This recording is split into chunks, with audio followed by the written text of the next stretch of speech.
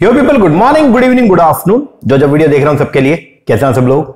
बेटा ओके एक बार फिर से स्वागत है आप सबका हमारे नए लेक्चर में। गैस आज की क्लास में हम लोग जो है वो करने वाले हैं, हमारा पेपर नंबर टू कॉमर्स जो है, उसका यूनिट नंबर जो थर्ड है that is for the business economics तो बिज़नेस इकोनॉमिक्स का जो टोटल सिलेबस था, उसको हम लोगों ने जो है, वो 11 चैप्टर्स में डिवाइड किया था और लास्ट क्लास के अंदर हम लोगों ने चैप्टर नंबर 11 जो है, वो कंप्लीट किया ओके?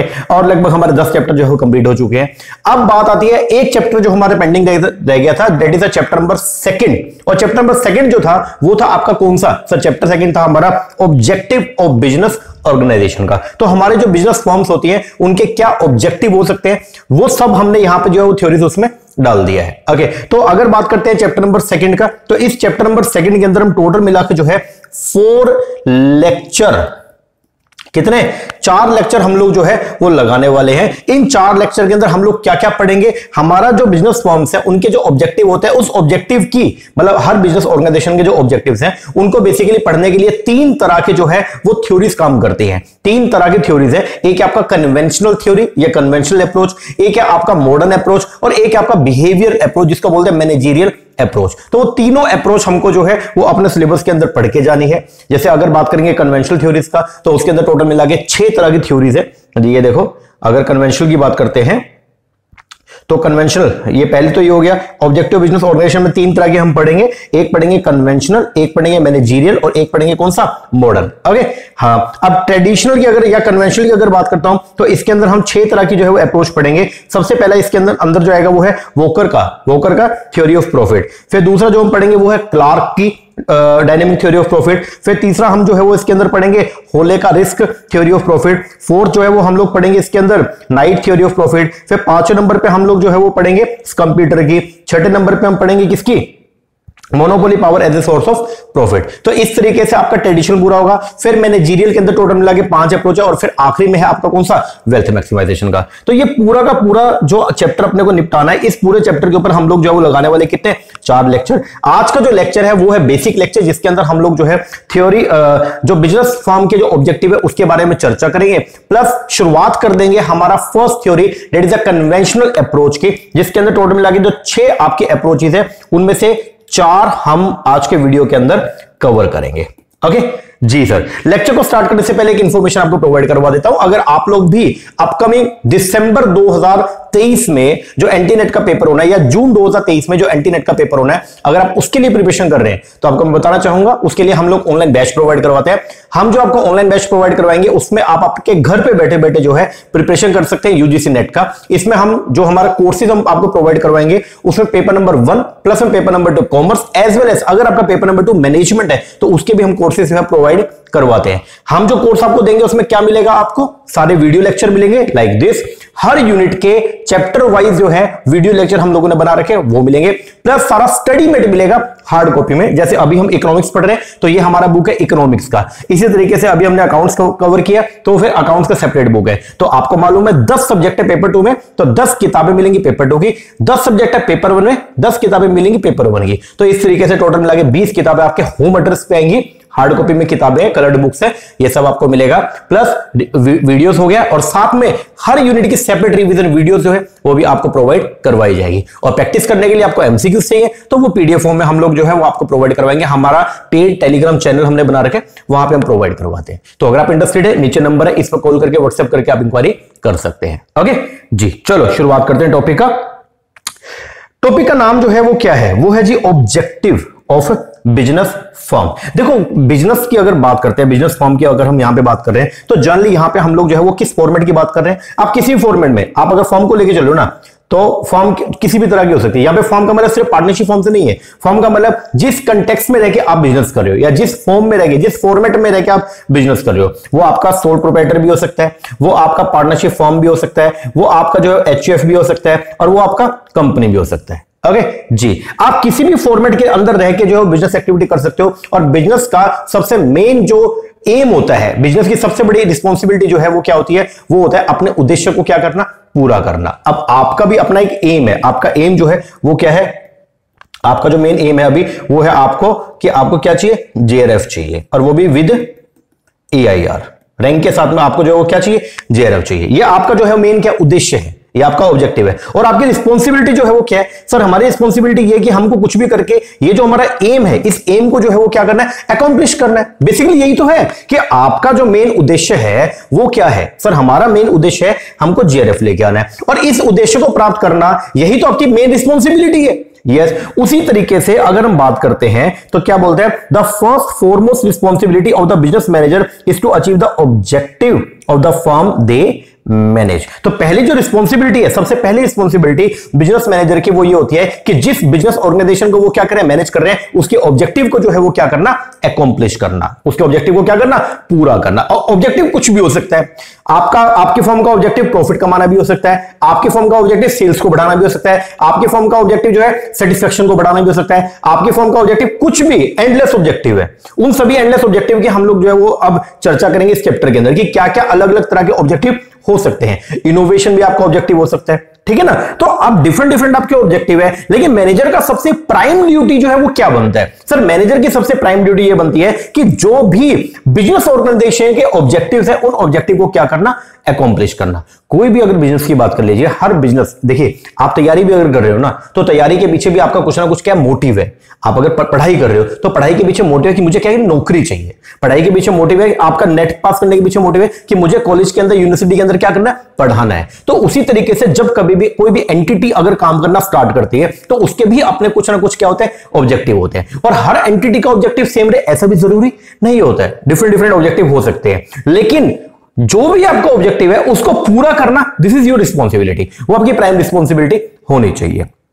आइए therefore all their managerial decision इसीलिए मैनेजर जो भी डिसीज़न लेता है, जो भी पॉलिसी बनाता है, जो भी स्ट्रेटजी बनाता है, जो भी फ़ंक्शन परफॉर्म करता है, वो सब किस लिए होते हैं? Directed towards the attainment of the objective of the firm. एक क्वेश्चन जो अराइज होता है यहाँ पे ये कि what is the objective of business firm हमको ये तो समझ में आ गया कि बिज़नेस का मेन उद्देश्य जो है वो क्या है? बिज़नेस का जो भी उद्देश्य है, उसको पूरा करना रिस्पॉन्सिबिलिटी है किसका? मैनेजर का। बट द क्वेश्चन इज़ कि बिज़नेस का उद्देश्य क्या है? What is the objective of the business organisation ठीक है? तो फिर यहाँ पे जो है वो क्या बोलता है? क्विक आंसर इसका अगर बात करें तो वो क्या है? आ, अगर कोई आपसे पूछे बताओ जी बिज़नेस का मेन ऑब्जेक्टिव क्या होता है तो आप क्या बोलोगे? सीधा सीधा प्राइम फेसी आपके माइंड में जो वो क्या आएगा? सर सीधा हमारे माइंड में एक ही आएगा प्रॉफिट मैक्सिमाइजेशन कोई भी बिज़नेस की अगर बात करें तो उसका मेन उद्देश्य जो है वो क्या होता है? प्रॉफिट को क्या करना? मैक्सिमाइज करना. तो बोलते हैं क्विक आंसर जो आप, आपका आएगा वो क्या है? Maximise the profit of course however लेकिन अलग अलग कुछ इकोनॉमिस्ट हुए, जिन्होंने इकोनॉमिक्स फ़ील्ड के अंदर बहुत सारी जो है वो क्या करे स्टडी करे, उनमें से एक थे आपके बोमल ठीक है?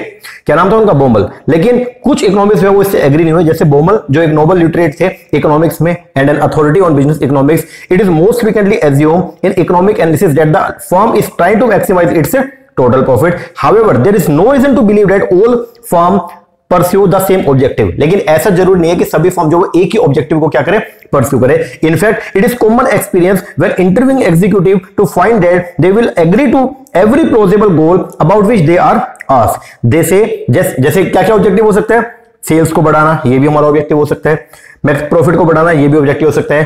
कोस्ट को कम करना, ये भी ऑब्जेक्टिव हो सकता है। इनफैक्ट अगर बात करते हैं रिसर्चर जो है, जो रिसर्च कंडक्ट किया गया इकोनॉमिस्ट ने ओवर टाइम वो रिवेल करता है कि business firm pursue different objective तो हर ऑर्गेनाइजेशन के अलग अलग ऑब्जेक्टिव हो सकते हैं under different kind of market condition तो कोई भी ऑर्गेनाइजेशन की अगर आप बात करेंगे उसका कुछ ना कुछ उद्देश्य तो रहेगा। लेकिन सबका उद्देश्य एक जैसा हो ऐसा ज़रूरी नहीं है। और हमेशा ही आपका उद्देश्य एक रहे ऐसा भी ज़रूरी नहीं है। मार्केट कंडीशन के हिसाब से आपका उद्देश्य जो है वो क्या होता रहेगा? चेंज होते रहेगा। अगर मान लीजिए आप तैयारी करके गए जेआरएफ का लेकिन आपका पेपर बहुत ही धासु हुआ तो अब आपका उद्देश्य जो है वो क्या रहेगा कि यार मेरा रैंक आ जाए। जब आप ये सिक्योर हो, हो गए हो कि यार जेआरएफ तो कंफर्म है तो आपका उद्देश्य क्या रहने वाला है कि यार कुछ भी करके रैंक आ जाए मज़ा ही आ जाएगा। अगर मान लो पेपर की तैयारी तो आप जेआरएफ की करके गए लेकिन अगर किसी कारणवश अगर पेपर ज़्यादा अच्छा नहीं हुआ तो आप वहाँ पे क्या सोचोगे कि यार जेआरएफ ही आ जाए, या फिर यार नेट हो जाए कम से कम एटलीस्ट नेट हो जाए। ठीक है ना? तो इसका मतलब क्या है? मार्केट कंडीशन के हिसाब से ऑब्जेक्टिव जो है वो भी क्या होते रहते हैं आपके? चेंज होते रहते हैं। ठीक है? द कन्वेंशनल थ्योरी ध्यान देना, जो कन्वेंशनल थ्योरी है या जो ट्रेडिशनल थ्योरी है, ठीक है और firm is based on the assumption traditional theory का एक ही ट्रेडिशनल थ्योरी के अंदर जो आप कन्वेंशनल थ्योरीज पढ़ेंगे, उसकी आप जितने भी अप्रोच पढ़ेंगे, उनमें सिर्फ़ एक ही बात दी गई है। और वो ये दी गई है कि कोई भी बिज़नेस का मेन उद्देश्य जो है वो क्या है? वो होता है जी आपका प्रॉफिट को क्या करना? मैक्सिमाइज करना। तो क्या बोलते हैं? The conventional theory of firm is based on the assumption that objective of the business firm is to maximise the profit however जबकि economist have found that business firm pursue many other objective लेकिन economist ने यह भी पाया कि business organisation जो है वो कई सारे अलग अलग ऑब्जेक्टिव को परस्यू कर सकती है। Like maximisation of the sales revenue sales को बढ़ाना, ये भी आपका एक ऑब्जेक्टिव हो सकता है। ग्रोथ को बढ़ाना, ये भी ऑब्जेक्टिव हो सकता है। यूटिलिटी फ़ंक्शन को इंक्रीज करना, ये भी आपका ऑब्जेक्टिव हो सकता है। सेटिस्फाइसिंग बिहेवियर लेके आना, ये भी आपका ऑब्जेक्टिव हो सकता है। Long term survival and the market share growth market share को क्या करना, बढ़ाना, ये भी आपका ऑब्जेक्टिव हो सकता है। एंट्री पे रोक लगाना रिस्क को अवॉइड करना, ये भी आपका ऑब्जेक्टिव हो सकता है। The economists have pointed out some other objective like achieving a target growth rate, making a target profit, making a satisfactory original profit. ये सब आपके ऑब्जेक्टिव हो सकते हैं। तो सिर्फ़ ये बोलना कि भाई ऑब्जेक्टिव हमारा क्या रहेगा? प्रॉफिट मैक्सिमाइजेशन ऐसा ज़रूरी नहीं है। हाँ एक बात ध्यान रखना जो कन्वेंशनल अप्रोच अब हम पढ़ेंगे या जो ट्रेडिशनल अप्रोच हम लोग पढ़ेंगे उसका एक ही ऑब्जेक्टिव है। वो ये चाहता है कि प्रॉफिट जो है उसको अपने को क्या करना है? मैक्सिमाइज करना है। उसके अंदर जितने भी आप अप्रोचेस पढ़ेंगे ना तो उसमें सबका मेन उद्देश्य यही होगा कि कुछ भी करके अपने को प्रॉफिट जो है वो क्या करना है मैक्सिमाइज करना है। Since it is a responsibility business manager to achieve the objective of the firm they need to have a clear perception हमको मालूम है कि बिज़नेस मैनेजर का जो मेन एम है वो क्या है? ऑब्जेक्टिव को क्या करना, पूरा करना। इसीलिए ऑब्जेक्टिव को सेट करना सबसे क्या है? इंपॉर्टेंट है। तभी तो वो उसको क्या करेंगे? पूरा करेंगे। तो क्या बोलते हैं? सिंस जैसा कि हम जानते हैं कि रिस्पॉन्सिबिलिटी जो है बिज़नेस मैनेजर का वो क्या है? टू अचीव करना। क्या करना? अचीव करना। किसको अचीव करना? Objective of the firm they need to have और उसके लिए क्या होना चाहिए? क्लियर परसेप्शन होना चाहिए आपके माइंड के अंदर। अंडरस्टैंडिंग होना चाहिए किसको लेकर के?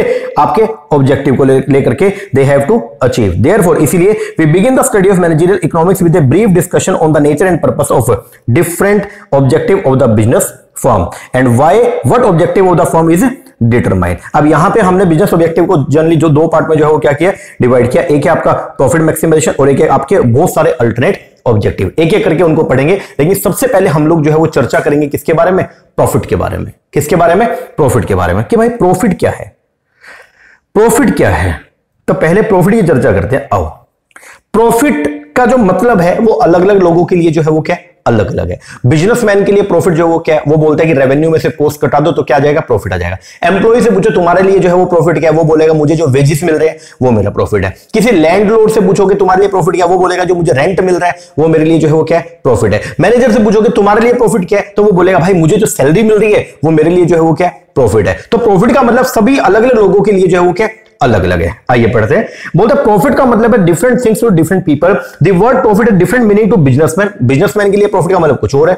अकाउंटेंट के लिए प्रॉफिट का मतलब कुछ और है। टैक्स कलेक्टर के लिए प्रॉफिट का मतलब कुछ और है। वर्कर्स के लिए प्रॉफिट का मतलब कुछ और है। इकोनॉमिक्स के लिए प्रॉफिट का मतलब कुछ और है। And it is often use in loose polemical sense that bury its real significance in general sense में अगर बात करें profit is regard as income profit का मतलब जो है वो क्या होता है? कॉमन पार्लेंस में अगर बात करते हैं प्रॉफिट का बेसिक मीनिंग जो है वो क्या होता है? कि एंटरप्रेन्योर जो है एंटरप्रेन्योर जो भी कमाई करता है, उसको बोलते हैं प्रॉफिट एक एंटरप्रेन्योर ने बिज़नेस करना शुरू किया, एक बिजनेसमैन ने बिज़नेस करना शुरू किया, और बिज़नेस करके वो जो कुछ भी कमाएगा, वो क्या हो जाएगा? जो भी इनकम वो जनरेट करेगा that is known as profit तो क्या बोलते हैं? Profit is regard as the income जो कौन कमाएगा? एंटरप्रेन्योर उसी तरीके से अगर लेबर की बात करें तो लेबर क्या बोलते हैं प्रॉफिट के बारे में? तो बोलते हैं it is the same sense as the wages accrue to the labour फिर बात करें अगर किसका?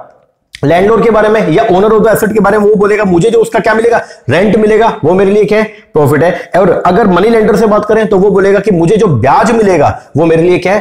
प्रॉफिट है। टू लेमैन और अगर लेमैन की बात करें तो क्या है? प्रॉफिट का मतलब हो गया वो सारी इनकम जो किसको जाती है? That flow to the investor आपने जो कुछ भी लगाया, अब मैनेजर ने क्या लगाया? अपने एफर्ट्स लगाए। तो एफर्ट के बदले में उसको मिलेगा, वो प्रॉफिट है। लैंडलॉर्ड ने क्या दिया? अपनी प्रॉपर्टी दिया। उसके बदले उसको जो मिलेगा? प्रॉफिट है। एंटरप्रेन्योर ने क्या किया? रिस्क उठाया। तो उसके बदले उसको जो मिलेगा? वो क्या प्रॉफिट है। टू एन अकाउंटेंट लेकिन अकाउंटेंट की अगर बात करें तो अकाउंटेंट के तौर पे प्रॉफिट का मतलब क्या है? अगर कोई आपसे पूछता है, बताओ what is the meaning of profit तो आप क्या बोलते हो? सर सेल में से कोस्ट को क्या कर दो? लेस कर दो? तो वो जो बचेगा, वो क्या बचेगा? प्रॉफिट प्रॉफिट को पाई से हम डिनोट करते हैं तो वो क्या बचेगा? प्रॉफिट तो नॉर्मल अगर अकाउंटेंट के पार्ट में अगर बात करते हैं तो क्या बोलते हैं? To an accountant to an accountant profit means excess of the revenue over all paid out cost including both the manufacturing and the overhead expense also known as the accounting profit इसी और इसी को बोलते हैं हम लोग क्या? Accounting profit तो अगर आप रेवेन्यू में से जो है, जो भी आपकी पेड आउट कॉस्ट है, उसको क्या करते हो? माइनस करते हो तो वो क्या आ जाएगा आपका? Accounting profit it is more less the same as the net profit और ये कहीं ना कहीं देखने में किसके जैसा है? नेट प्रॉफिट के जैसा for all practical purpose profit का मतलब होता है accounting profit plus non allowable expenses बिल्कुल। प्रॉफिट की फिगर जो पब्लिश करता है business firm are profit conforming to the accounting concept of the profit लेकिन इकोनॉमिक्स का जो कॉन्सेप्ट है प्रॉफिट का, वो कुछ अलग है। इकोनॉमिक्स का जो प्रॉफिट है, वहाँ पे प्रॉफिट का मतलब अकाउंटिंग प्रॉफिट से नहीं होता, वहाँ पे प्रॉफिट का मतलब होता है किससे? प्योर प्रॉफिट अब ये क्या कहानी अभी आगे पढ़ेंगे, ठीक है? और इस प्योर प्रॉफिट को हम क्या बोलते हैं? इकोनॉमिक प्रॉफिट अकाउंट्स में प्रॉफिट का मतलब कुछ रहा है और इकोनॉमिक्स में प्रॉफिट का मतलब जो है वो कुछ और है। जो अकाउंटिंग प्रॉफिट होता है ना तो वो कुछ अलग सेंस में निकल के आएगा, और जो इकोनॉमिक प्रॉफिट निकल के आएगा, जो इकोनॉमिस्ट यूज़ करते हैं इकोनॉमिस्ट प्रॉफिट से जो समझते हैं, उसको बोलते हैं इकोनॉमिक प्रॉफिट और वो क्वाइट डिफरेंट होता है किससे? जो अकाउंटिंग प्रॉफिट होता है. नॉर्मल अकाउंटिंग प्रॉफिट आप कैसे निकालते हो? रेवेन्यू में से माइनस कर दो किसको जो भी पेड आउट कॉस्ट होती है, उनको अगर आप माइनस करोगे तो क्या आएगा? प्रॉफिट लेकिन अगर बात करेंगे इकोनॉमिक्स का तो वो ये बोलता है कि टोटल कॉस्ट माइनस करो, और टोटल कॉस्ट में जो एक्सप्लिसिट कॉस्ट है, वो भी माइनस करो, और जो इंप्लिसिट कॉस्ट है, वो भी क्या करो माइनस करो तो ही निकल के आएगा क्या? प्रॉफिट दैट मीन्स कि अकाउंटिंग प्रॉफिट और जो इकोनॉमिक प्रॉफिट है, वो दोनों दोनों जो है, वो क्या होंगे? अलग अलग होंगे. तो देखो यहाँ पर क्या बोलते हैं? Economics concept of profit is pure profit या उसको इकोनॉमिक प्रॉफिट या उसको जस्ट प्रॉफिट बोलते हैं। Pure profit is the return over and above the opportunity cost. That is the income which a businessman might expect from the second best alternate use of his resources. Accounting and the uh, accounting and economic concept जो है वो नीचे बताया गया है। आइए देखते हैं एक बार। देखो एक बार। जो इकोनॉमिक प्रॉफिट है ये पहला और दूसरा जो है वो क्या है? अकाउंटिंग प्रॉफिट सबसे पहले बात करेंगे इकोनॉमिक प्रॉफिट ये कैसे निकलता है? ठीक है? और फिर बात करेंगे, या पहले अकाउंटिंग प्रॉफिट समझाता हूँ, जो नॉर्मल आपने पढ़ा हुआ है। अकाउंटिंग प्रॉफिट जो है वो कैसे निकलता है? सर अकाउंटिंग प्रॉफिट सिंपल जो हम निकालते थे, हम क्या करेंगे? टोटल रेवेन्यू ले लो, जो भी आपके सेल हुई है वो ले लो। उसमें से माइनस करो आपकी एक्सप्लिसिट कॉस्ट को। अब ये एक्सप्लिसिट कॉस्ट जो है वो क्या होती है? सर जो भी कॉस्ट बाहर के लोगों को पे करनी होती है, उसको बोलते हैं एक्सप्लिसिट क्या बोलेंगे? एक्सप्लिसिट तो अगर आप रेवेन्यू में से जो है एक्सप्लिसिट कॉस्ट को क्या करते हैं? माइनस करते हैं तो क्या निकल के आएगा? प्रॉफिट क्या निकल के आएगा? प्रॉफिट तो अकाउंटिंग प्रॉफिट जो है, वो कैसे निकलेगा? जब आप जो है सेल्स में से माइनस करेंगे किसको? एक्सप्लिसिट कॉस्ट को. किसको? एक्सप्लिसिट कॉस्ट को. तो क्या निकल आएगा? अकाउंटिंग प्रॉफिट ठीक है सर हाँ यही पढ़ा हुआ है हमने। लेकिन इकोनॉमिक प्रॉफिट थोड़ा सा अलग है। अब वो क्या बोलता है? वो बोलता है, अगर आप सेल्स में से माइनस करोगे टोटल कॉस्ट को टोटल कॉस्ट में एक्सप्लिसिट कॉस्ट तो आएगा और साथ में एक कॉस्ट और आएगा जिसको बोलते हैं इंप्लिसिट कॉस्ट क्या बोलेंगे? इंप्लिसिट कॉस्ट खुद के साधन की जो कॉस्ट होती है, खुद के जो आपने रिसोर्सेज लगाए हैं, उनकी जो कॉस्ट होती है, उसको बोलते हैं हम लोग क्या? इंप्लिसिट कॉस्ट क्या बोलते हैं? इंप्लिसिट तो इकोनॉमिक प्रॉफिट अकाउंटिंग प्रॉफिट कैसे निकलेगा? जब आप टोटल रेवेन्यू में से माइनस करेंगे ओनली किसको? एक्सप्लिसिट कोस्ट को तो निकलेगा आपका अकाउंटिंग प्रॉफिट और इकोनॉमिक प्रॉफिट कैसे निकलेगा? जब आप टोटल कॉस्ट टोटल रेवेन्यू में से माइनस करेंगे, किसको? टोटल कोस्ट जिसमें एक्सप्लिसिट कॉस्ट तो है और साथ में इंप्लिसिट कॉस्ट भी है। तो उसको बोलेंगे आप लोग क्या? इकोनॉमिक प्रॉफिट क्या बोलेंगे? इकोनॉमिक प्रॉफिट और एक खास बात हो रहा है, ये जो इंप्लिसिट कॉस्ट होती है, ये क्या होती है? खुद के खुद के रिसोर्सेज की जो कॉस्ट है। अब देखो, आपने जो है बिज़नेस करना शुरू किया और बिज़नेस के अंदर जो है वो आपने अपनी प्रॉपर्टी भी एंगेज कर ली। अब अगर उस प्रॉपर्टी को अगर आप बिज़नेस में यूज़ ना करते तो कहीं और लगाते? यस और वहाँ पे कुछ ना कुछ कमाते? यस तो क्या वो चीज़ आपने फोरगोन कर दी, नहीं कर दी? क्योंकि आपने अपनी प्रॉपर्टी बिज़नेस एक्टिविटी के लिए यूज़ कर लिया तो इसलिए आप उसको लेट आउट नहीं कर पाए। इसलिए आप उसको किराए पे नहीं दे पाए। अगर आप बिज़नेस के लिए अपनी प्रॉपर्टी को यूज़ ना करते तो क्या आप उसको किराए पे देते?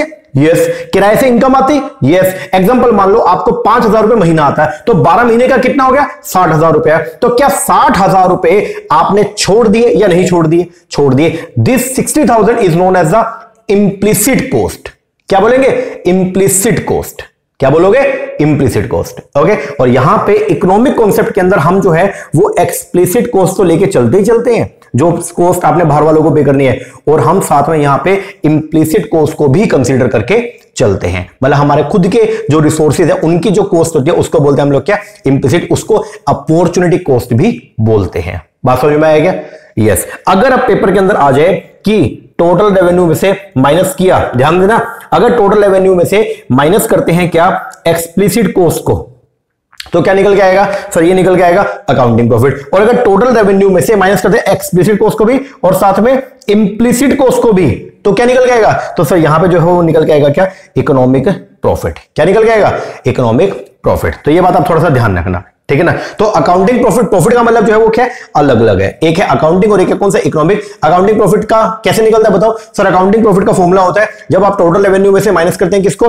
एक्सप्लिसिट कॉस्ट को तो निकल के आएगा अकाउंटिंग प्रॉफिट और इकोनॉमिक प्रॉफिट कैसे निकलेगा? जब आप टोटल रेवेन्यू में से माइनस करते हैं टोटल कॉस्ट को। और टोटल कॉस्ट में दोनों तरह की कॉस्ट इन्वॉल्व होगा। कौन कौन सा? Explicit as well as implicit और इंप्लिसिट कॉस्ट को हम क्या बोलते हैं? अपॉर्चुनिटी कॉस्ट और एक खास बात रहा है। इंप्लिसिट कॉस्ट का ही एक नाम और होता है, उसको बोलते हैं नॉर्मल प्रॉफिट क्या बोलेंगे? नॉर्मल प्रॉफिट तो ये जो इंप्लिसिट कॉस्ट है, इसी को बोलते हैं हम लोग क्या? नॉर्मल प्रॉफिट समझ में आया? यस नो यस सर आइए. The two important concept of the profit that figure in the business decision are the economic profit और दूसरा कौन सा? Accounting profit from conceptual clarity point of view it is useful to understand the difference between the two concept okay as already mention accounting sense में profit कैसे निकलता है? Profit is the surplus किसका? Of the total revenue over all paid out cost जितनी भी आपकी paid out cost होती है, अगर आप टोटल रेवेन्यू में से माइनस कर दो, अपनी सारी की सारी पेड आउट कॉस्ट को, इनको अगर क्या कर दो माइनस कर दो तो निकल के आएगा क्या आपका? Accounting profit including both manufacturing and the overhead expense ठीक है? तो अकाउंटिंग प्रॉफिट में भी कैलकुलेट अकाउंटिंग प्रॉफिट कैसे निकलेगा? जब आप टोटल रेवेन्यू ये आपका टोटल रेवेन्यू है, जिसको आप क्या बोलते हो? सेल्स ही बोलते हो। जब आप उसमें से माइनस करोगे क्या? All paid out cost all paid out cost. और पेड आउट कॉस्ट वो कौन सी होती है? सर, पेड आउट कॉस्ट का मतलब हो गया जो कॉस्ट हमें बाहर क्या करनी पड़ती है? पे करनी पड़ती है। जो कॉस्ट हमें बाहर पे करनी पड़ती है। Daddy that is paid out cost okay तो अगर आप सेल्स में से जितने भी पेड आउट कॉस्ट है, उनको क्या करते हो? माइनस करते हो तो निकल के आएगा क्या? अकाउंटिंग प्रॉफिट और पेड आउट कॉस्ट कौन कौन सी हो सकती है? लाइक like आपको बाहर जो है अपने एम्प्लॉयज़ को सैलरी का पेमेंट करना है वेजेस का पेमेंट करना है रेंट का पेमेंट करना है, या इंटरेस्ट पे करना है, या कोई भी कॉस्ट ऑफ़ मटेरियल हो गया तो इनको जब आप माइनस करोगे तो निकल के आएगा क्या? Accounting profit obviously while calculating the accounting profit only explicit जब आप अकाउंटिंग प्रॉफिट निकालोगे तो ओनली एंड ओनली एक्सप्लिसिट या book cost that is a cost जो रिकॉर्ड करिए बुक्स अकाउंट्स में, उसी को ही आप क्या करते हैं? कंसीडर करते हैं। मतलब इंप्लिसिट कॉस्ट को आप यहाँ पे कंसीडर नहीं करते। The concept of the economic profit लेकिन ये बात ध्यान रखना कि इकोनॉमिक प्रॉफिट का कॉन्सेप्ट जो है, वो अकाउंटिंग प्रॉफिट से क्या अलग है? क्योंकि अकाउंटिंग प्रॉफिट कैसे निकालते हो? Sir total cost total revenue में से माइनस कर दो किसको? ओनली एक्सप्लिसिट कॉस्ट को, जो कॉस्ट हमने बाहर के लोगों को पे करनी है, उसको अगर आप माइनस उसको मनी कोस्ट भी बोल सकते हो, या उसको पेड आउट कॉस्ट भी बोल सकते हो। तो अगर आप जो है, वो टोटल रेवेन्यू में से माइनस करते हैं, जितनी भी आपकी पेड आउट कॉस्ट है, उनको तो तो क्या निकल के आएगा? अकाउंटिंग प्रॉफिट लेकिन इकोनॉमिक प्रॉफिट का कॉन्सेप्ट थोड़ा सा अलग है। अब आइए थोड़ा इकोनॉमिक प्रॉफिट पढ़ते हैं। क्या बोलते हैं? The concept of economic profit differ from accounting profit economic profit also take in account the implicit और इंप्यूटेड कॉस्ट बोलते हैं इकोनॉमिक प्रॉफिट जो है इंप्लिसिट कॉस्ट को भी कंसीडर करके चलता है। इंप्लिसिट कॉस्ट जो है, उसको बोलते हैं हम लोग क्या? अपॉर्चुनिटी कॉस्ट क्या बोलते हैं? Opportunity opportunity cost is defined as the income for good opportunity का कॉस्ट का मतलब क्या होता है? जो इनकम आप कमा सकते थे, लेकिन आपने नहीं कमाई। जो इनकम आप कमा सकते थे बट आपने नहीं कमाई तो आपने वो इनकम को क्या कर दिया? छोड़ दिया। पैसे का ना आना भी तो पैसे का जाना हुआ। मेरे पास में एक अपॉर्चुनिटी थी कि मैं साठ हज़ार रुपए रेंट के कमा सकता था। लेकिन क्योंकि मैंने अपनी प्रॉपर्टी जिसको मैं किराए पे दे सकता था, वहाँ से साठ हज़ार कमा सकता था, उसको वहाँ से हटा के मैंने बिज़नेस में यूज़ किया तो क्या साठ हज़ार रुपए की जो इनकम हो सकती थी, क्या वो गई? यस और नो हाँ जी सर गई।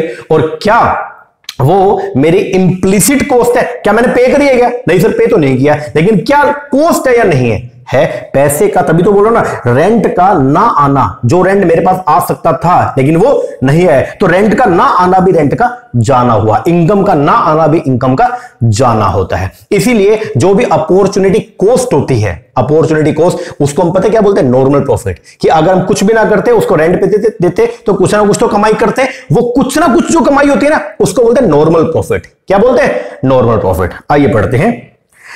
The implicit cost is the opportunity cost implicit cost को बोलते हैं हम लोग क्या? Opportunity cost opportunity cost is defined as the income forgone opportunity cost का मतलब जो है वो क्या होता है? जो इनकम आपने क्या कर दिया? फोरगोन कर दिया बोलते छोड़ दिया. Due to withdrawal of the factor of production from their most remunerative alternative employment क्योंकि आपने उनको छोड़ दिया, क्योंकि आपने उनको वहाँ से क्या कर लिया? निकाल लिया और अपने बिज़नेस में क्या कर दिया? इन्वेस्ट कर दिया। तो वहाँ से जो वो इनकम कमा सकते थे, जो इनकम आपने अब क्या कर दिया? फोरगुन कर दिया। वो आपकी हो जाएगी क्या? इंप्लिसिट कॉस्ट क्या हो जाएगी? Implicit alternatively opportunity cost can be defined as the income opportunity cost का मतलब जो है वो क्या होता है? इनकम जो आपने क्या किया? फोरगो कर दिया, बोल तो छोड़ दिया। Which a businessman could make from the second best use of his resources example अगर कोई एंटरप्रेन्योर यूज़ करता है अपनी कैपिटल को इन इज़ ओन बिज़नेस जो कैपिटल आप कहीं और लगा सकते थे, लेकिन बिज़नेस के अंदर लगाया तो अगर कहीं और लगाते, वहाँ से कुछ ना कुछ कमाई करते, वो कमाई लेकिन आपने क्या छोड़ दिया तो वो आपकी क्या हो जाएगी? इंप्लिसिट कॉस्ट क्या हो जाएगी? इंप्लिसिट फॉर एग्जांपल अगर कोई एंटरप्रेन्योर यूज़ करता है अपनी कैपिटल को अपने खुद के बिज़नेस के अंदर तो वो क्या कर रहा है? फोरगोन कर रहा है. Dividend which he could earn जो वो कमा सकता था by purchasing share of their company और the interest which he could earn by deposit his money from bank for a period furthermore अगर कोई एंटरप्रेन्योर यूज़ करता है अपने टाइम को या अपने लेबर को यूज़ करता है बिज़नेस के अंदर तो वो छोड़ रहा है वो इनकम जो वो कहीं और काम करके कमा सकता था by working as a manager in other firm और working as a consultant it should also भी नोटेड डेड इकोनॉमिक और pure profit make provision for insurable risk depreciation and necessary minimum payment to shareholder to prevent them from withdrawing their capital. Very very important यहाँ से paper में पहले भी question आया था कि इकोनॉमिक प्रॉफिट जो होता है ना, जब आप इकोनॉमिक प्रॉफिट को निकालते हो तो आप उसमें जो है इंश्योरेबल रिस्क हो गया डेप्रिशिएशन हो गया, इनको भी कंसीडर करके चलते हो। क्या बोल रहे हैं? इट शुड ऑल्सो भी नोटेड इकोनॉमिक और profit make provision economic profit जब आप निकालोगे तो आप इकोनॉमिक प्रॉफिट निकालते हुए अपने टोटल रेवेन्यू में से इनको भी माइनस कर लेते हो। तो इकोनॉमिक प्रॉफिट जब कंप्यूट होता है ना तो हम उसमें से इंश्योरेबल रिस्क हो गया डेप्रिशिएशन हो गया, या necessary minimum payment to shareholder as a dividend के तौर पे जो आप उनको प्रोवाइड करते हो, वो भी आप उसमें पहले से कंसीडर कर लेते हो। दोबारा देख लो it should also be noted ये ज़रूर लर्न करके जाना पेपर में पहली बार दोबारा आ सकते हैं कि जब कभी भी हम प्योर प्रॉफिट निकालते हैं या इकोनॉमिक प्रॉफिट निकालते हैं तो हम टोटल रेवेन्यू में से एक्सप्लिसिट कॉस्ट और इंप्लिसिट कॉस्ट को माइनस करते हैं और उस इंप्लिसिट कॉस्ट में इसको भी हम कंसीडर करते हैं। मतलब इंश्योरेबल रिस्क हो गया डेप्रिशिएशन हो गया, या minimum necessary payment to the shareholder to prevent them ताकि वो अपना पैसा ना निकाले बिज़नेस से तो उनको मिनिमम अमाउंट हम क्या करते रहेंगे? पे करते रहेंगे। वो भी हम कंसिडर करके चलते हैं। तो यहाँ पे कंसीडर करने का मतलब कि टोटल रेवेन्यू में से उसको हम पहले से ऑलरेडी माइनस करके चलते हैं। प्योर प्रॉफिट में thus be defined as a residual left pure profit का मतलब क्या हो गया? अब जो बच गया टोटल रेवेन्यू में से जब टोटल कॉस्ट चली गई, और टोटल कॉस्ट में क्या क्या? Implicit as well as explicit उसके बाद जो बचता है, उसको बोलते हैं हम लोग क्या? इकोनॉमिक प्रॉफिट तो क्या बोलते हैं? Pure profit may be defined as the residual left जो बच गया after all contractual cost that have been met including the transfer cost of management insurable risk depreciation payment of shareholder sufficient to maintain investment at a current level etcetera तो फिर जो बचेगा, वो क्या बचेगा? प्योर प्रॉफिट तो pure profit का मतलब जो है वो क्या हो गया? जब आप टोटल रेवेन्यू में से माइनस करते हैं किसको? टोटल कॉस्ट को. और टोटल कॉस्ट में क्या क्या explicit as well as implicit तो इसको बोलते हैं आप लोग क्या? Pure profit alternatively pure profit हम एक तरीका और है वो क्या? जब आप अकाउंटिंग प्रॉफिट में से माइनस कर दो किसको? जो अकाउंटिंग प्रॉफिट है, उसमें से अगर आप माइनस कर दो किसको? नॉर्मल प्रॉफिट को. और ये नॉर्मल प्रॉफिट क्या है? जो आपकी इम्प्लिसिट कॉस्ट होती है तो क्या निकल जाएगा? Pure profit Okay, so pure profit so defined may not be necessarily positive for a single firm in a single year. It may be negative हो सकता since it may not be possible to decide beforehand the best way of using the resource. Beside economics के अंदर pure profit जो है वो एक short term phenomenon है हर वक्त फर्म जो है कभी भी pure profit नहीं कमाती है फर्म normal profit जो है वो कमाती है It does not exist in the long run, especially under the perfect competitive market condition. अब ना ये जो economic profit term है ये बेसिकली इकोनॉमिक प्रॉफिट जो है या इसी को हम क्या बोलते हैं? प्योर प्रॉफिट ये पता क्या है? इट इज़ ये वो प्रॉफिट है which is beyond the normal profit normal profit के बियॉन्ड आप जो कुछ भी कमाते हैं ना, वो क्या है आपका? प्योर प्रॉफिट या उसको बोलते हैं आप लोग क्या? इकोनॉमिक और इसको एक और नाम बोल सकता हूँ। क्या पता है? बोलो। सर ये कहीं ना कहीं देखने में ऐसे लग रहा है। मतलब देखो, पहले नाम पे जाओ। Profit beyond the normal profit मतलब ये वो प्रॉफिट है जो नॉर्मल प्रॉफिट के बाद जो आप कमाते हो। नॉर्मल प्रॉफिट से ज़्यादा जो आप प्रॉफिट कमाते हो, वो है क्या? प्योर प्रॉफिट या इकोनॉमिक क्या इसी को मैं, ध्यान देना सुपर नॉर्मल प्रॉफिट बोल सकता हूँ या नहीं बोल सकता? बस मुझे ये बता दो। सुपर नॉर्मल प्रॉफिट क्या होता है? नॉर्मल रिटर्न से एक्स्ट्रा जो कुछ भी कमाते हैं, वो क्या होता है? सुपर प्रॉफिट होता है? यस तो इकोनॉमिक प्रॉफिट कहीं ना कहीं आपको देखने में वो नहीं लग रहा कि हाँ सर नॉर्मल के बियॉन्ड जो कुछ भी कमाते हैं, वो क्या है? वो क्या है? इकोनॉमिक प्रॉफिट है। या उसी को बोलते हैं क्या? प्योर प्रॉफिट या उसी को बोलते हैं हम लोग क्या? सुपर नॉर्मल प्रॉफिट आइए। तो कंक्लूसिव भी क्या निकल के आया? सर, ये निकल के आया, पहले अगर बात करते हैं किसका? इकोनॉमिक प्रॉफिट का। तो इकोनॉमिक प्रॉफिट का फॉर्मला जो है वो क्या है? जब आप टोटल रेवेन्यू में से माइनस करते हो टोटल कॉस्ट को। और जो टोटल कॉस्ट है, इसमें दोनों तरह की कॉस्ट होगी। इसमें एक्सप्लिसिट कॉस्ट भी होगी और इसमें इम्प्लिसिट कॉस्ट भी होगी। और इम्प्लिसिट कॉस्ट को क्या बोलते हैं? नॉर्मल प्रॉफिट बात खत्म हो गया। अब इकोनॉमिक प्रॉफिट अगर ज़ीरो है अगर कभी ऐसा कि इकोनॉमिक प्रॉफिट जो है वो क्या? ज़ीरो है। अच्छा पहले ये बताओ, ये टोटल रेवेन्यू में से टोटल कॉस्ट माइनस किया मतलब इंप्लिसिट कॉस्ट जिसको हम क्या बोलते हैं? नॉर्मल प्रॉफिट तो इसको क्या ये इकोनॉमिक प्रॉफिट आपका सुपर नॉर्मल प्रॉफिट हो गया, नहीं हो गया? यस और नो हाँ सर, यही तो हमारा सुपर नॉर्मल प्रॉफिट हो गया। यस अब अगर इकोनॉमिक प्रॉफिट ज़ीरो है, अब अगर मान लो ये ज़ीरो आ गया, अगर इकोनॉमिक प्रॉफिट ज़ीरो है तो इसका मतलब क्या हो गया कि total revenue is equal to total cost yes और नो बस मुझे ये बताओ। सर देखो, अगर ये होता हंड्रेड एक एग्जांपल लेके चल रहा हूँ मैं। अगर मान लो ये जो है, ये होता हंड्रेड जो इकोनॉमिक प्रॉफिट है, वो कितना होता? सौ होता। और टोटल रेवेन्यू तो दो सौ। या मान लो टोटल रेवेन्यू होता आपका 180 तो टोटल कॉस्ट कितनी होती? सर टोटल कॉस्ट इसका मतलब 80 है। ऐसा है या नहीं है? तभी तो आपका इकोनॉमिक प्रॉफिट कितना निकल गया? 100 और ये जो टोटल कॉस्ट है 80 इसमें मान लो दोनों तरह की कॉस्ट इंक्लूड है आपकी। एक्सप्लिसिट इंप्लिसिट और एक्सप्लिसिट कॉस्ट है मान लो 60 और इंप्लिसिट है 20 तो क्या ये नॉर्मल प्रॉफिट है? यस नॉर्मल प्रॉफिट तो था बीस का, लेकिन आपने सौ कमा रखा है। तो आपने जो एक्स्ट्रा अस्सी रुपए कमा रखे हैं, आपने एक्स्ट्रा अस्सी रुपए जो कमा रखे हैं तो क्या वो क्या वो आपका सुपर नॉर्मल प्रॉफिट है या नहीं है? पहले ये बताओ। हाँ सर, बिल्कुल है। अब मेरा क्वेश्चन आपसे ये है कि अगर कभी ऐसा हुआ T R equal to TC हो गया मतलब अगर इकोनॉमिक प्रॉफिट जो है वो क्या हो गया? ज़ीरो अगर इकोनॉमिक प्रॉफिट ज़ीरो है तो इसका मतलब जो टी आर है, वो और टीसी इन दोनों का गैप क्या है? ज़ीरो है। इसका मतलब टीआर अगर मान लो हंड्रेड होगा तो टीसी भी क्या होगा? हंड्रेड होगा। यस तभी तो ये क्या आया? ज़ीरो आया। बोलो। हाँ सर बिल्कुल सही बात है। तो अगर टीआर और टीसी दोनों बराबर है तो उसको वहाँ पे अगर इकोनॉमिक प्रॉफिट आपका ज़ीरो है तो मेरा क्वेश्चन आपसे ये है तो क्या फॉर्म वहाँ पे कुछ ना कुछ कमा रही होगी या नहीं कमा रही होगी? सर कमा रही होगी, क्योंकि सर टोटल कॉस्ट जो है, इसमें एक्सप्लिसिट जो कॉस्ट है वो तो कवर हो ही रही है। और साथ में क्या इसमें इंप्लिसिट कॉस्ट भी कवर हो रही है, नहीं हो रही है? मुझे ये बता दो। हाँ सर, ये भी कवर हो रही है। तो क्या इंप्लिसिट कॉस्ट को ही मैं नॉर्मल प्रॉफिट बोलता हूँ, नहीं बोलता हूँ? क्या यही नॉर्मल प्रॉफिट है? Yes yes. तो इसका मतलब अगर टोटल रेवेन्यू और टोटल कॉस्ट जो है वो क्या है? बराबर है। तो क्या वहाँ पे फॉर्म जो है नॉर्मल प्रॉफिट अर्न कर रही है, नहीं कर रही है? कर रही है। तो अगर कभी ऐसा हुआ कि इकोनॉमिक प्रॉफिट इज़ ज़ीरो अगर इकोनॉमिक प्रॉफिट क्या है? ज़ीरो है तो firm is just earning a normal profit यही सबसे बड़ा इशू आता है। लोग पता क्या बोलते हैं? ऐसा लोगों का दिमाग खराब हो जाता है।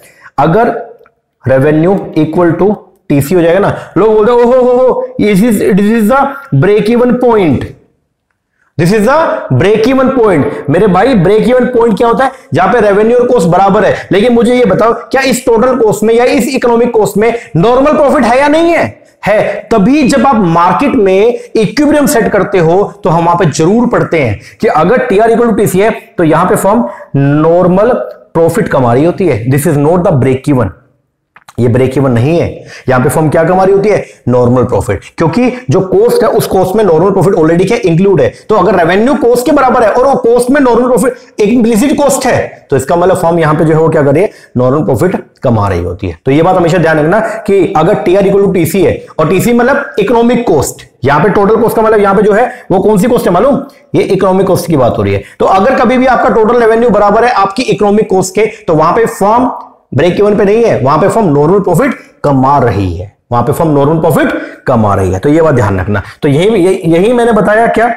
अगर कभी भी ऐसा हुआ, देखो if economic profit is zero अगर इकोनॉमिक प्रॉफिट क्या ज़ीरो है तो फॉर्म इज़ जस्ट अर्निंग तो भी फॉर्म अर्न कर रही है क्या? नॉर्मल प्रॉफिट या फिर नॉर्मल रेट ऑफ़ रिटर्न अब नॉर्मल रेट ऑफ़ रिटर्न क्या होता है? It means minimum profit necessary to attract और रिटेन द इन्वेस्टमेंट इसको बोलते हैं हम लोग क्या? नॉर्मल रेट ऑफ़ रिटर्न ठीक है ना? अब यहाँ पे अगर इकोनॉमिक प्रॉफिट क्या है? ज़ीरो है। अगर आपका इकोनॉमिक प्रॉफिट क्या है? ज़ीरो है। तो वहाँ पे T R equal to TC है और टीसी में नॉर्मल प्रॉफिट का एलिमेंट जो है, वो क्या है? इंक्लूड है। सो सो फर्म यहाँ पर नॉर्मल प्रॉफिट कमा रही है। तो अगर इकोनॉमिक प्रॉफिट इज़ ज़ीरो तो भी फॉर्म जो है, वो क्या कमा रही है?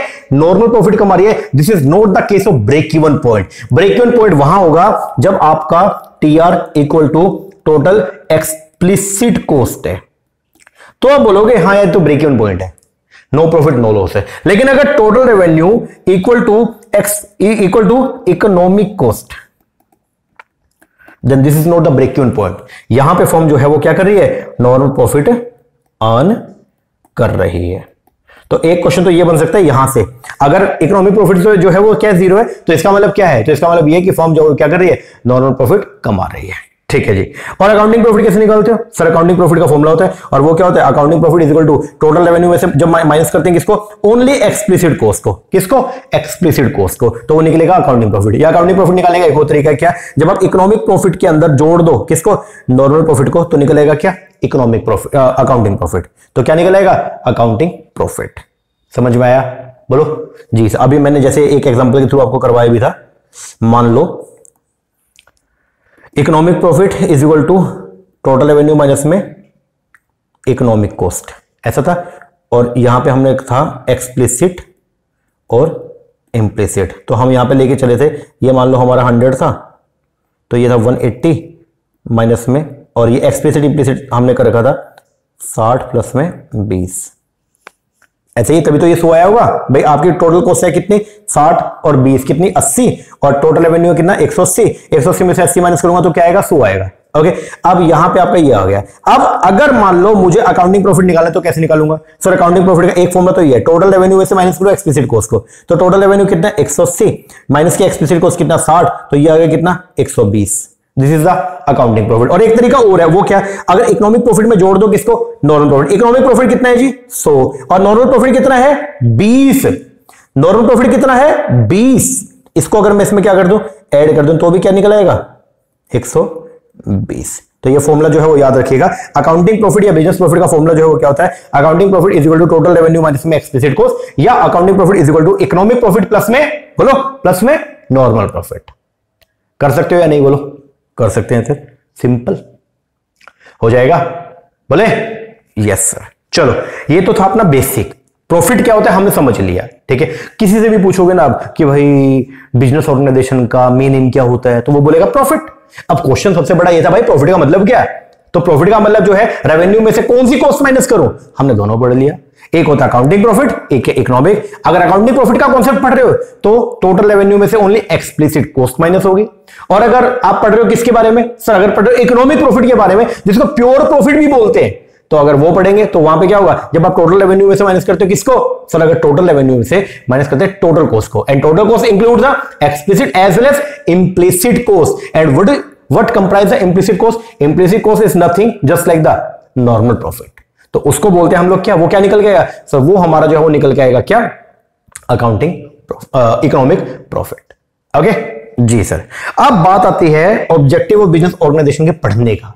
ठीक है? कि भाई ऑब्जेक्टिव जो है वो कैसे कैसे हैं? तो ऑब्जेक्टिव को यहाँ पे जो है वो तीन अप्रोचेस के थ्रू हम पढ़ेंगे। एक है कन्वेंशनल अप्रोच एक है मैनेजीरियल या बिहेवियर और एक है कौन सा? मॉडर्न शुरुआत हम जो है वो करेंगे सबसे पहले किससे? ट्रेडिशनल थ्योरी या इसको बोलते हैं हम लोग क्या? कन्वेंशनल अप्रोच से। कहाँ से? कन्वेंशनल और ये जो कन्वेंशनल अप्रोच है ना, ये कन्वेंशनल अप्रोच क्या बोलते हैं मालूम? कन्वेंशनल अप्रोच जो है, इसमें जितने भी आप मॉडल पढ़ने वाले हो, इसमें टोटल मिला के हम सिक्स मॉडल्स पढ़ेंगे। कितने? सिक्स मॉडल्स हम पढ़ेंगे और छह के छह मॉडल में बात जो है वो की जाएगी ओनली किसके बारे में? प्रॉफिट के बारे में। किसी और चीज़ की बात ही नहीं की जाएगी, सिर्फ़ प्रॉफिट की। सिर्फ़ प्रॉफिट की बात होगा। तो यहाँ पे मैंने ऊपर लिखा कि कन्वेंशनल थ्योरीज या ट्रेडिशनल थ्योरी जो है, इनमें क्या होगा? ट्रेडिशनल थ्योरी में जितने भी मॉडल्स हैं, सब में प्रॉफिट पर ही जो है वो क्या किया जाएगा? फोकस किया जाएगा। एक एक करके पढ़ेंगे। ट्रेडिशनल थ्योरी ऑफ़ प्रॉफिट या इकोनॉमिक्स परसेप्शन जो है वो क्या बोलती है? इसमें सबसे पहले नंबर पर जो आ रहा है, वो है क्या? देखो पहले यहाँ पे what are the sources of profit तो economics are not unanimous on this issue economics जो है, वो एक, उनका एक मत नहीं था। It is in the fact this question that has been a source of the unsettled controversy and has led to emergence of various theory of profit और इसीलिए जो है कई सारी थ्योरी ऑफ़ प्रॉफिट जो है, वो क्या हुआ? इमर्ज हुआ। क्योंकि सब पर्सन का अपना अपना जो है, वो क्या था? व्यू था। ट्रेडिशनल अप्रोच में सबसे पहले जो थ्योरी आ रही है, वो है कौन सा? Walker theory of profit Walker Walker theory of profit. ये क्या है? वोकर थ्योरी ऑफ़ प्रॉफिट जो है वो दिया एफ़ ए वोकर ने और उसने एक बात बोली। वो बोला, भाई, प्रॉफिट का मतलब क्या? प्रॉफिट कब कमाएँगे? अगर बिजनेसमैन के पास में एक्सेप्शनल एबिलिटी है तो वो प्रॉफिट कमाएगा, नहीं तो वो प्रॉफिट नहीं कमाएगा। उसने क्या बोल दिया? सबसे पहला, वोकर थ्योरी ऑफ़ प्रॉफिट जो है वो क्या है? ये बोलते हैं, प्रॉफिट जो है ना, वो क्या है? रेंट ऑफ़ एबिलिटी अगर आपके अंदर क्या है? एबिलिटी है। अगर आपके अंदर एक्सेप्शनल क्वालिटीज हैं तो ही आप प्रॉफिट कमाएँगे। और उसके बदले में आपकी एक्सेप्शनल क्वालिटीज के बदले में जो है, वो सोसाइटी आपको क्या प्रोवाइड करेगी? प्रॉफिट प्रोवाइड करेगा। आपकी एक्सेप्शनल क्वालिटीज के बदले में, आपकी एक्सेप्शनल एबिलिटीज के बदले में सोसाइटी आपको क्या प्रोवाइड करेगी?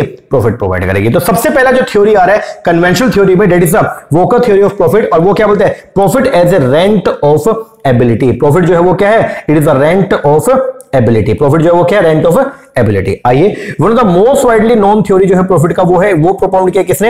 एफ़ ए वॉकर ने। According to him profit is the rent of the exceptional ability that an entrepreneur may possess over other तो प्रॉफिट जो है वो क्या है? प्रॉफिट एक किराया है बेसिकली क्यों मिल रहा है आपको वो किराया? क्योंकि आपके पास में ऐसी एक्सेप्शनल क्वालिटीज है जो औरों के पास में नहीं है। Just as land rent is the difference between the yield of the least and the most fertile land अब अब देखो, जो सबसे कम फर्टाइल होती है, सबसे कम उपजाऊ होती है, उसका जो रेंट होता है वो कम होता है, लेकिन जो सबसे ज़्यादा उपजाऊ ज़मीन होती है, उसका रेंट क्या है ज़्यादा रहता है।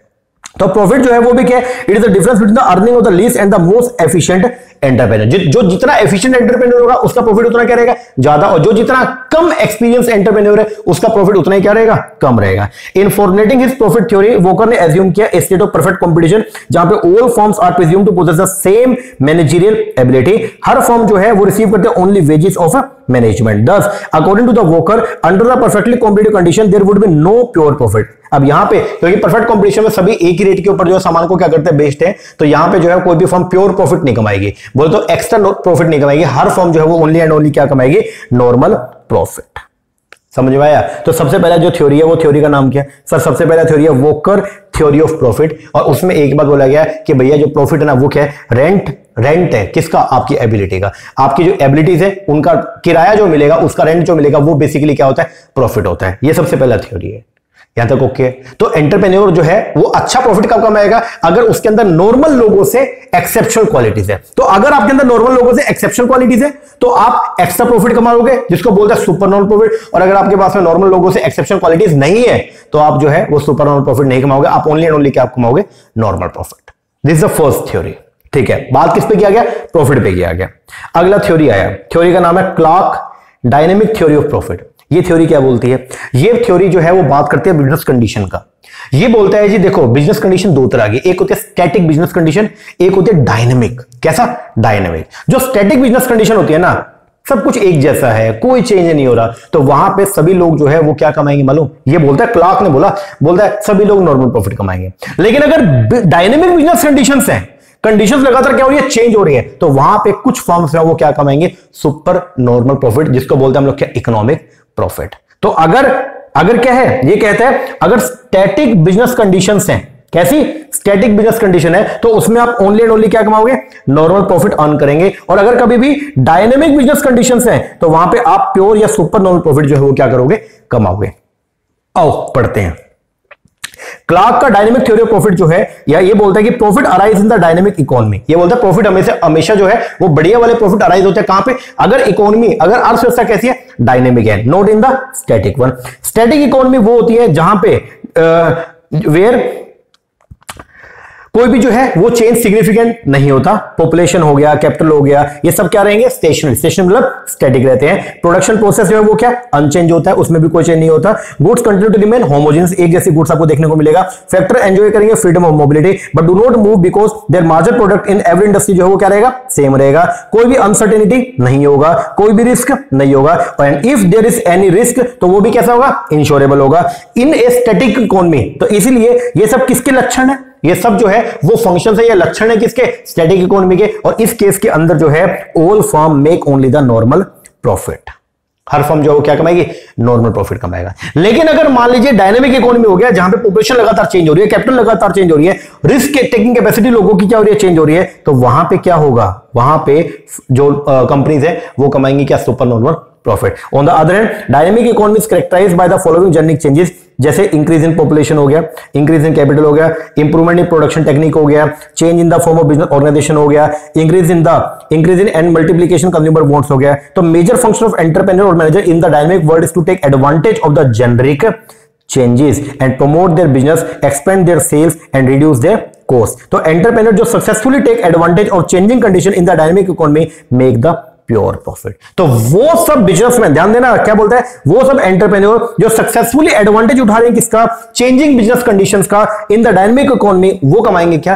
प्योर प्रॉफिट तो सिंपल सी बात, अगर यहाँ पे अगर हम बात करें तो वो क्या निकल के आ रहा है? सर ये निकल के आ रहा है कि अगर मान लो डायनेमिक इकोनॉमी है तो आप प्योर प्रॉफिट कमाएँगे, और अगर मान लीजिए वो क्या है? अर्थव्यवस्था जो है, वो स्टैटिक नेचर का है तो वहाँ पे जितने भी फॉर्म्स हैं, वो सब जो है, वो कमाएँगे नॉर्मल प्रॉफिट क्या कमाएँगे? नॉर्मल लेकिन एक खास बात ध्यान रखना, ये जो डायनेमिक प्रॉफिट वाली कहानी है ना, वो शॉर्ट टर्म के लिए होती है। क्योंकि कुछ समय तक ही आप सुपर नॉर्मल प्रॉफिट कमा सकते हो। उसके बाद लोग जो है, वो नकल करना शुरू कर देंगे और वो चीज़ एकदम स्टेबलाइज हो जाएगी। तो ये एक बात खास जो आगे लिखी हुई है, वो क्या?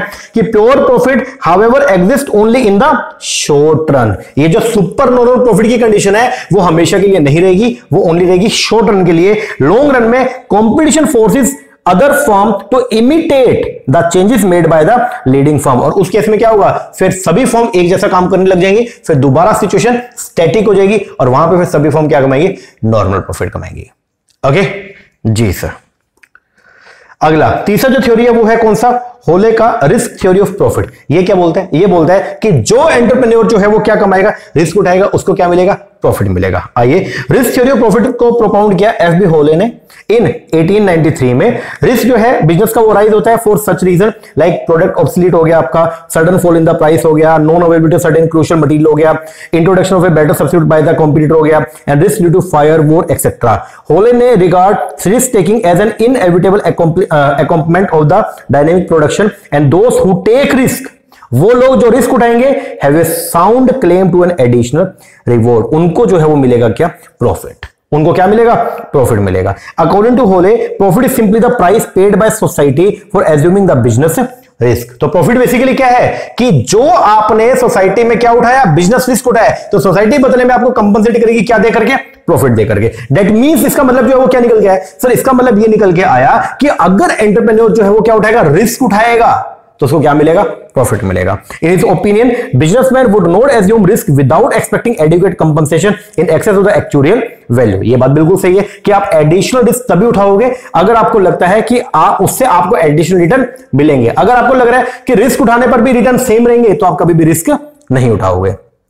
आगे assuming risk give the entrepreneur claim to reward in excess the actual value of the risk profit account to Hawley consist two part एक होता है compensation for the average loss incidental to the various class of the risk और एक होता है inducement to suffer the consequence of being expose to risk तो अगर आप जो है वो जितना रिस्क क्या करोगे? उठाओगे। उतना आपका जो प्रॉफिट है वो क्या होगा? बढ़ेगा। तो ये थर्ड थ्योरी है और थ्योरी का नाम जो है वो क्या था? होले का रिस्क थ्योरी ऑफ़ प्रॉफिट और ये क्या बोलता है? जो एंटरप्रेन्योर जितना ज़्यादा रिस्क उठाएगा, उतना उसका जो है वो इकोनॉमिक प्रॉफिट जो है वो क्या होगा? रेस करेगा। एंड लास्ट आज के लिए जो लास्ट है वो है नाइट थ्योरी ऑफ़ प्रॉफिट इसमें, इसने ये बोला कि अनसर्टेनिटी आप ध्यान से सुनना, इसने पहले रिस्क को और अनसर्टेनिटी दोनों को क्या किया? अलग अलग किया ये बोलता भाई रिस्क अलग होता है अनसर्टेनिटी अलग है। रिस्क ऐसा है जिसका आप इंश्योरेंस करवा सकते हैं। तो रिस्क इंश्योरेबल इन नेचर होता है। अगर रिस्क है, देखो रिस्क है इसका मतलब आपको पता तो है कि ये चीज़ हो सकती है। तो उसका बीमा करवा लोगे। लेकिन जो अनसर्टेनिटी आपको मालूम नहीं है कि वो चीज़ हो भी सकती है नहीं हो सकती है। दिस इज़ द अनसर्टेनिटी और अनसर्टेनिटी जो है वो क्या है? अनसर्टेनिटी का आप इंश्योरेंस भी नहीं करवा सकते। तो अनसर्टेनिटी आपकी नॉन इंश्योरेबल है। वो क्या है? नॉन इंश्योरेबल तो इस केस में जो है वो क्या होगा?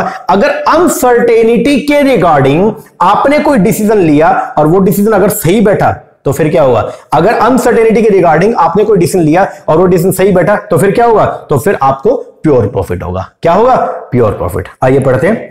नाइट थ्योरी प्रॉफिट में फ्रैंक एच नाइट ने ट्रीट किया प्रॉफिट को as a residual return to uncertainty bearing not to risk bearing ये बोला कि अगर आप अनसर्टेनिटी बियर करोगे ना तो आपको प्रॉफिट मिलेगा, ना कि रिस्क जो इससे ऊपर हमने पढ़ा, ये होले ने, ये क्या बोला? ये बोला, जो रिस्क उठाएगा, उसको क्या मिलेगा? प्रॉफिट मिलेगा। लेकिन ये बोला कि नहीं भाई, दोनों में डिफरेंस है। जो नाइट थ्योरी है, वो क्या बोलता है? कि प्रॉफिट और जो रिस्क अनसर्टेनिटी और रिस्क दोनों के अलग अलग है। रिस्क इंश्योरेबल नेचर का होता है, उसके बदले कुछ नहीं मिलेगा। लेकिन अगर अनसर्टेनिटी के रिगार्डिंग अगर आपने कोई डिसीज़न लिया और वो डिसीज़न अगर परफेक्ट बैठ गया तो आपको एक्स्ट्रा प्रॉफिट मिलेंगे। ऊपर मैंने यहाँ कुछ लिखा पहले कि रिस्क और अनसर्टेनिटी दोनों में क्या किया गया?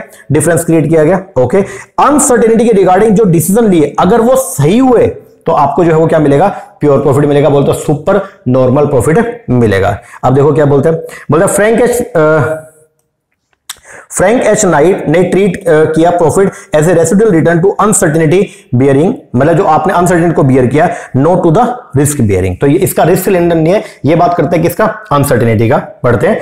Obviously Knight made a distinction between risk and uncertainty he divide risk into calculable and non calculable calculable risk are those जिसका probability of occurrence can be statistically estimate calculate risk वो होता है जिसको आप एस्टिमेट कर सकते हो।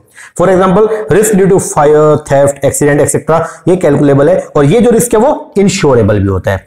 There remain however an area of risk लेकिन फिर भी कुछ एक ऐसा रिस्क भी बचता है जहाँ पे प्रोबेबिलिटी ऑफ़ रिस्क अकरेंस जो है, आप कैलकुलेट नहीं कर सकते। Example cost of eliminating competitor may not be accurately calculable and the strategy of the competitor may not be precisely assessable the risk element जो है of such incalculable event are not insurable तो area of incalculable risk जो है वो क्या है? Area of uncertainty it is the area of uncertainty that decision making become a crucial function तो अगर आपने अनसर्टेनिटी की रिगार्डिंग अगर कोई ऐसा डिसीज़न लिया जो परफेक्ट बैठ गया तो आपको जो है वो लोगों से एक्स्ट्रा प्रॉफिट मिलेगा। Entrepreneur and manager if the decision are prove to be correct अगर जो डिसीज़न आपने अनसर्टेनिटी के रिगार्डिंग लिया और वो क्या हुआ? करेक्ट हुआ बाय द सब्सिक्वेंट इवेंट तो entrepreneur make profit and vice versa और अगर नहीं हुआ डिसीज़न बेकार बैठा तो फिर आपको लॉस भी हो जाएगा। Thus according to Knight profit arise होगा from the decision taken and implemented under the condition of uncertainty तो नाइट का जो थ्योरी है, वो किसके ऊपर बात करता है? प्रॉफिट के ऊपर नहीं, किसके लिए? अनसर्टेनिटी के लिए। ओके जी सर लो, ये चार अप्रोच आज की क्लास में हमने किए अगली क्लास में इसकी जो बची हुई दो हैं, वो भी करेंगे।